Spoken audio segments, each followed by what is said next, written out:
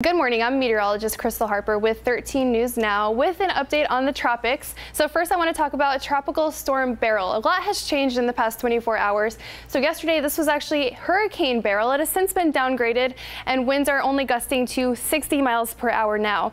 It will continue to weaken as it moves to the west-northwest at about 20 miles per hour and it's expected to hit the island chain here by this evening.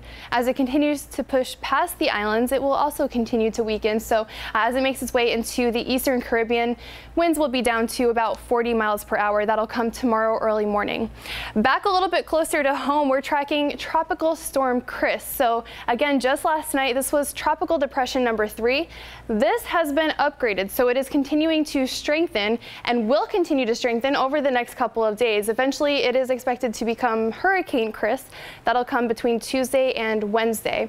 It is expected to stay offshore though, so certainly something to keep in mind. And at this time, it's mainly stationary, not moving a whole lot. That's because we had a cold front move through last night. Um, that, as that cold front moves a little bit closer to Tropical Storm Chris, it'll help to push it just ever so slightly off to the southeast before it starts to move to the northeast. And that's when we're expecting it to become a Category 1 hurricane. Again, that'll come either late Tuesday night or early uh, Wednesday morning. So wind gusts with this are about 50 miles per hour. And it's also important to note that this is expected to stay offshore, so no direct impacts to any coastal locations. However, we are dealing with some indirect impacts. So let's talk about those. The first one is it's going to be windy once again today, much like what we saw yesterday. So wind gusts in coastal Virginia will be up to about 30 miles per hour. And as we travel a little bit farther to the south in North Carolina, winds will be a little bit stronger at about 40 miles per hour. We're also expecting some minor tidal flooding that'll come at high tide this evening. And then of course some rough surf because of those gusty conditions. There's also a very high risk of rip currents, uh, some life-threatening rip currents. So very important to note that. Here's a look at the tides.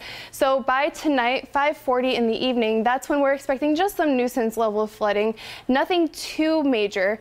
And then about the wind gusts, we are looking at gusts as high as about 25 miles per hour currently, but again, we could see those increasing to about 30, even 35 miles per hour along the coastal Virginia locations.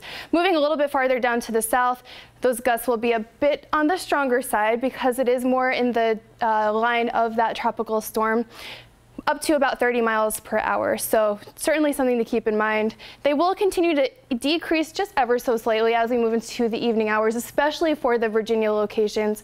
Northeastern North Carolina will continue to see those gusty winds really through about Tuesday morning before that storm starts to drift even farther away from our area.